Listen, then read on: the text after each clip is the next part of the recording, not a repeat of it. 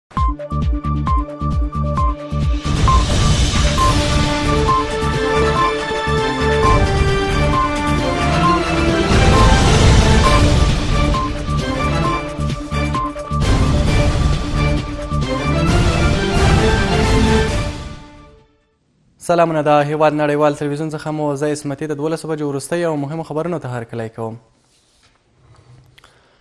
په نږدې ورځو کې به کابل د حزب اسلامي د مشر ګلبدین حکمتیار کوربه وي په سیاسي چارو کې ولسمشر سلاکار اکرم خپلواک وایي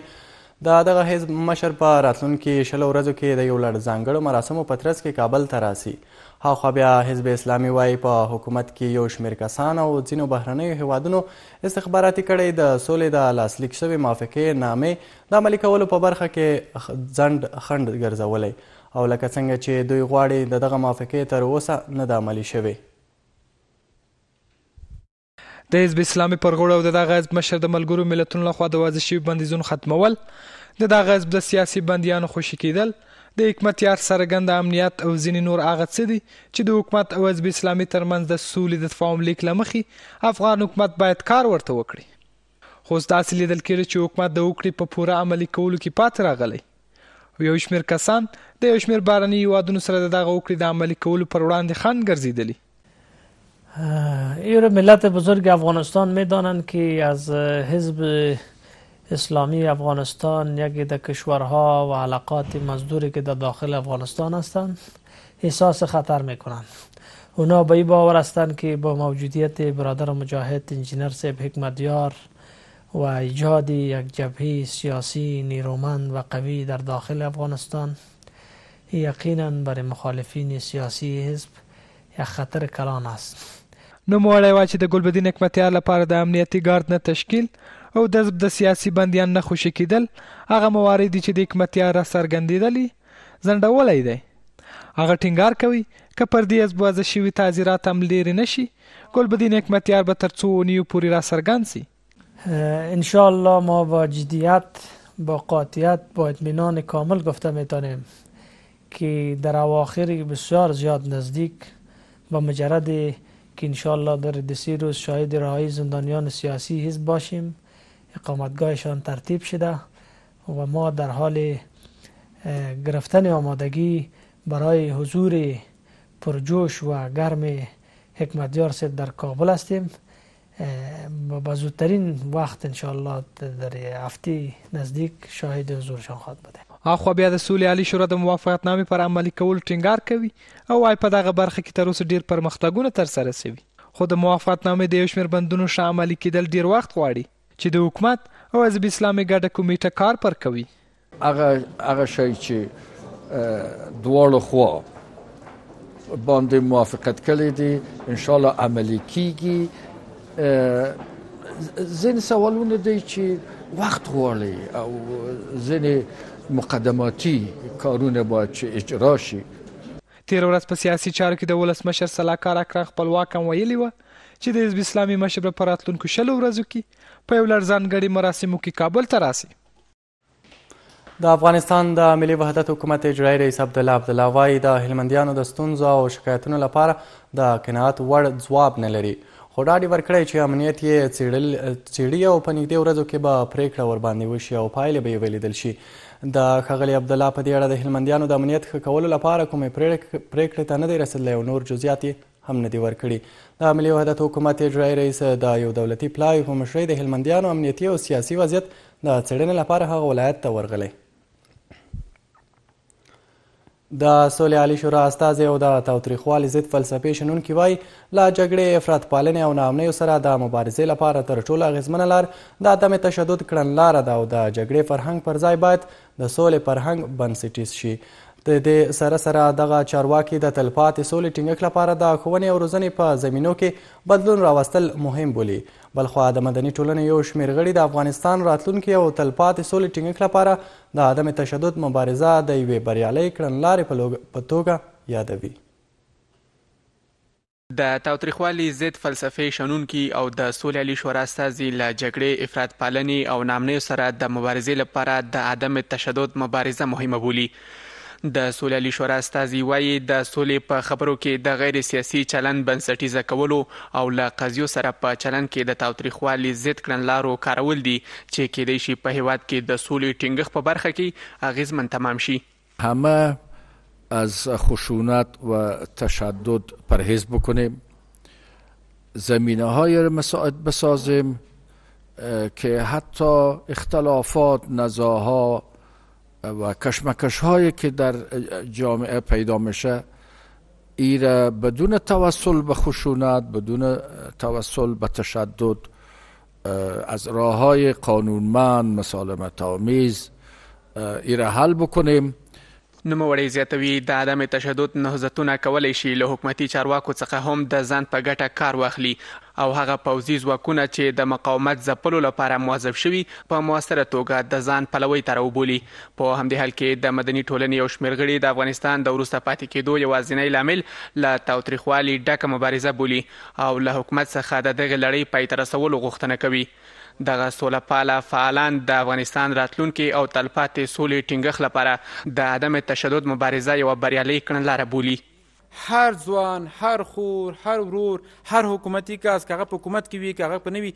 عملاً مبارزه پیل کړي او په دې یقین ولري، په دې باور ولري چې هغه مبارزه چې دوی یې پیلوي د پاک زړه دی او صادقانه دی دا به انشاءالله حتما نتیجه ورکوي از دولت جمهوری اسلامی افغانستان میخواهیم برای حل بحرانهای موجود کشور دیدگاه اجتماعی فرهنگی و ساختاری را در کنار دنبال کردن اجندای سیاسی در تمام سطوح حکومت بگنجاند بل بیشتر مسائل افغانستان را با نگاه اجتماعی توجه و تفسیر کند از دولت افغانستان میخواهیم تا استراتژی جمعی را جامعی را علیه مبارزه با افراطیت و بنیادگرایی روی دست گرفته بلخوا د اطلاعات او کلتور وزارت سرپرست د شخړو هواري لپاره د ښوونې او روزنې په زمینو کې بدلون راوستل اړین بولي. هغه د جګړې فرهنګ پر ځای د سولې فرهنګ بنسټیزه کولو لپاره د افغانانو په یو موټي کېدو ټینګار کوي. د تشدد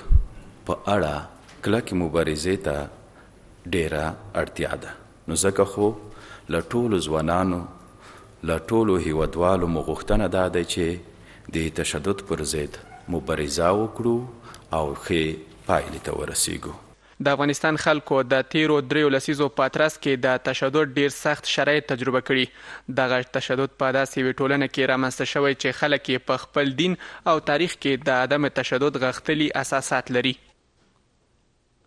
چارواکي وايي، د کندهار ولایت اړوند د ډیورنډ کرښې په اوږدو کې پاکستاني ځواکونو تل سرغړونې کوي او افغان سرحدي ځواکونو ته سرخوږی جوړوي. بلخوا د کندهار د ولایتي شورا یو غړی وایي چې افغان سرحدي ځواکونه په کمو امکاناتو او تجهیزاتو له خاورې ساتنه کوي په داسې حال کې چې هغوی درنو وسلو او هوایي ځواک ته اړتیا لري د کندهار د امنیتي قومندانۍ ویاند ضیا دراني رسنیو ته وویل په ډیورن کرښه د پاکستاني ځواکونو لخوا سرغړونې دوام لري چې کله کله دغه سرغړونې په وسلوالو نښتو هم اوړي هغه زیاته کړه د پاکستاني ځواکونو دغه راز کړنو افغان سرحدي سرتیرو ته سرخوږی جوړ کړی دی د ملا رسول په مشرۍ د طالبانو د نوې ډلې مسولین وایي چې ملا هبت الله او د حقاني شبکې غړو له روسیې چین ایران او پاکستان سره د جګړې د زیاتوالي نوي تړونونه لاسلیک کړي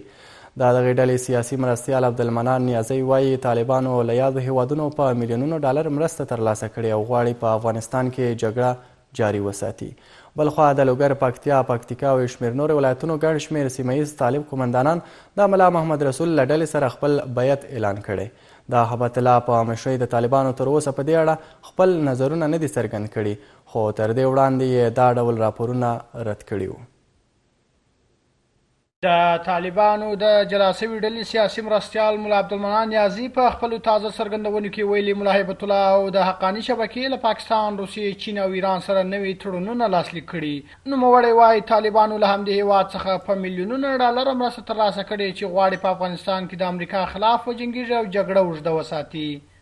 کومې معاملې چې هبت الله کومې معاملې چې د اکاني زوی د پاکستان، ایران، روسیه، چین سره د مسلمانانو پر سر کړې دي دغه معاملې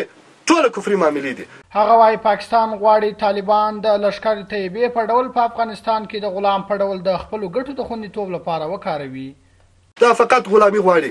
دا غواړي چې موږ غلام وساتي خپل د منافعو لپاره موږ په دې وطن کې استعمال کړي خبردار موږ نه استعمالیږو موږ د دوی پلرو ته د ازادۍ درس ورکړی دی موږ د دوی پلرو ته وطن ور جوړ کړی دی پاکستان موږ په سبب جوړ شوی دی پاکستان د روسیې څخه موږ په سبب ساتل شوی دی ملا عبدالمنان نیازی وايي یو شمېر طالبانو اوس درک کړي چي پاکستان د طالبانو دوست نه سي کېدای. د دې تر څنګ د لوګر، پکتيا، پکتيکا او يو شمېر نورو ولايتونو کي د طالبانو سيمه ييز قومندانانو د ملا رسول ډلي څخه ملاتړ کړی او د طالبانو د سيمه ييزو قومندانانو پرېکړه کي کړې ده چي د ملا هيبت الله په مشري د اسلامي امارت سره خپل پرېکون اعلان او د ملا محمد رسول اخوند خپل بیعت اعلانوم. به مردم پاکستان بر خون مردم افغانستان خود را صاحب پول و صاحب صاحب قدرت و صاحب امکانات کردند د ملا هیبت الله په مشري د طالبانو ویاندویانو تر اوسه په دې اړه رسنیو ته څه نه دي ویلي خو تر دې وړاندې دا ډول څرګندونې رد کړي عبدالرحمن کاکړ هیواد نړیوال راډیو ټلویزیون هرات عبدالرحمن کاکړ و چې رپورټ یې راکوی اوس هم ورګرځو جوزجان ولایت ته افغان چارواکي او د ملګرو ملتونو سازمان به راتلونکې اونۍ په جوزجان کې د سړې هوا له امله له اغېزمنو شویو خلکو سره د مرستو پر امکان او څرنګوالي خبرې وکړي د جوزجان د ولایتي شورا یو غړي له رسنیو سره په خبرو کې ویل د جوزجان په درزاب ولسوالۍ کې یو ویشت کلیو ته لارې بندې شوې او خلک ان خوراکي موادو ته لاسرسی نه لري د درزاب ولسوال د جرمني خبري اژانس ته ویلي چې په وروستیو درې اونیو کې یې لږ تر لږه اووه څلوېښت تنه د سړې هوا له امله مړه شوي دي، خو د جوزجان د والي دفتر دا شمېر نه دی تایید کړی. د فراه ولایت اوسیدونکي د پرله پسې لاریونونو په ترڅ کې نن یو ځل بیا د فراه والي آصف ننګ د ګوښه کېدو غوښتنه کړې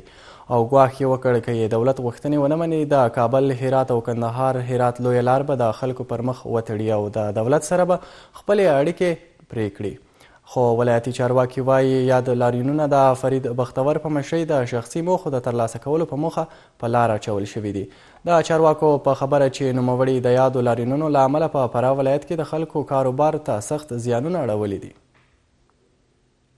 د فراه ولایت لاریو نن خپلې پنځلسمې ورځې ته وغځول شو له همدا فراه ولایت مرکز کې او د ځایي ادارې مخې ته د لاریون کوونکو د تحسن خیمې ولاړې دي نن د همدې ولایت په سلګونو وګړو یو وارې بیا په همدې ولایت کې پراخ لاریون ترسره کړ. په ننني لاریون کې بیا هم لاریون کوونکو د مرکزي دولت څخه غوښتنه کوي چې د دوی حقه غوښتنو ته دې په جدي توګه پاملرنه وشي. لاریون کوونکي د فراه والي آصف اننګ د لیرې کیدو غوښتنه لري، خو د لاریون کوونکو ولایتي شورا ځینې استازي بیا د فراه والي آصف اننګ په فساد، ضعیفه مدیریت او قومي مسایلو ته په لمن وهلو تورنوي. دا د فراه والي موږ نه غواړو موږ یې شل واره خطا ایستلي یو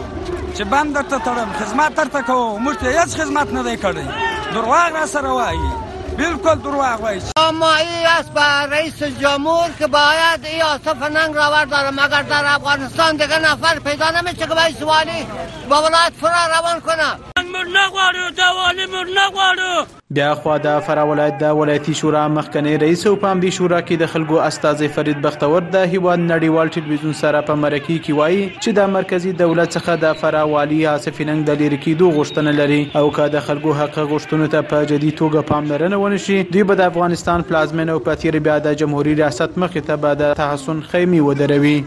او تر هغه وخته پورې چې دغه والي نه وي ایسته شوی موږ به دغه د خلکو غږ د ارګ تر خولې پورې ورسوو، هلته به تحصن خیمې ودرو، هلته به موږ خپل هغه مدني حرکتونه، خپل له حقه حقوقو څخني دفاع وکړو. په همدې حال کې بیا د فراه ولایت د ځايي اداري ویاند ناصر مهري د خبریالانو سره په خبري ناسته کې خپل پر مخکني دریځ ټینګار کوي او وايي چې لاریون کوونکي یو مشخصه طرحه او معلومدار هدف نه لري او لا هم لاریون بې پایله بولي.